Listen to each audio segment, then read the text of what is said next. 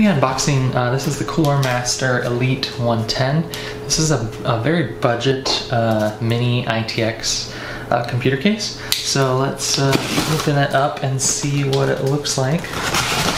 And then we'll compare it to um, some other mini ITX cases that uh, I like as well. So this one was uh, just a little over $60. All right, so we've got the Elite 110 series user manual. Um, I like the packaging so far. It's like not a ton of packaging, which is nice. I feel like I'm always just recycling like way too much cardboard. So good packaging there. Uh, Cooler Master makes, I mean, a lot of different things. They make obviously coolers uh, for CPUs. They make cases. They make power supplies. Um, Okay, I mean this is uh, it's nice and small, just size-wise. Um, it's metal. It kind of looks plastic, but it's kind of a cheaper metal. Um, back here, you can see we've got a power supply spots. Um, we've got thumb screws. I say thumb screws, and then I can't actually turn these, so I'm gonna have to grab a screwdriver. Um, but like this side one here, Oh, it's it's got a cooler integrated, and then all of its cabling stuff here. So this is basically the front here. You can see we've got a front panel with uh, that's just a dumb button. Um, reset. Actually, that's an LED light, so supposed to be indicator of power. Power button, line in, line out, headphones, two USB uh, USB-A ports on the front there. And uh, me grab a screwdriver here. Okay, so let's open this guy up. Just take a quick look inside. So I actually think this uh, this is going to be a whole three-sided piece. It looks like, just kind of interesting. Um,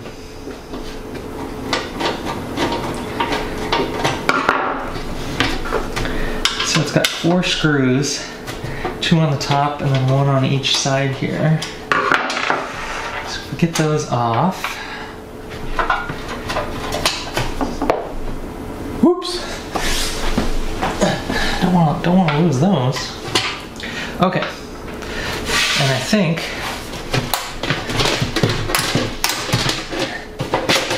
Okay. So that comes off, slides out just like that. And then we can kind of see a bit more of what we have to work with inside. So we got all of our cabling stuff. Like I said, there's one fan here. Um, looks like it's SATA powered for that. And you've got like your, all your front panel connections and things. And uh,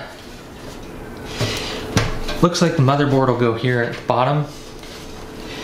And then you've got two slots PCIe here, so you could still fit you know, this is not going to fit a full-size graphics card this way.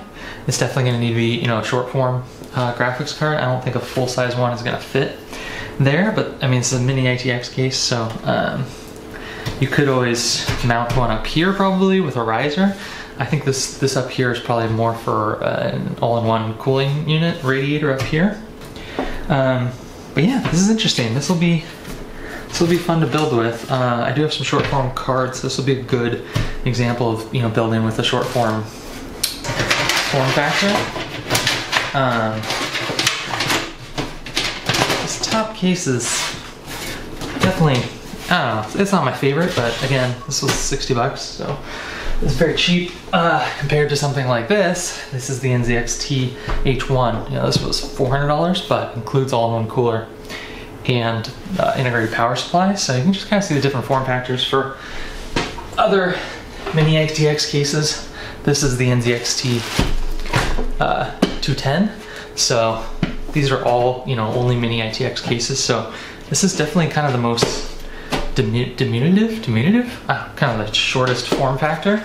Um, obviously wider than the, the NZXT's got this kind of interesting vertical format to it. But uh, for a budget case, if I was doing a budget short form build, um, this looks like it could be a, a very solid option. So Okay, this is a Cooler Master Elite uh, 110 and uh, Mini ATX version. Uh, they do have an ATX, looks like version 2, but uh, for the 110 Mini ATX case from Cooler Master.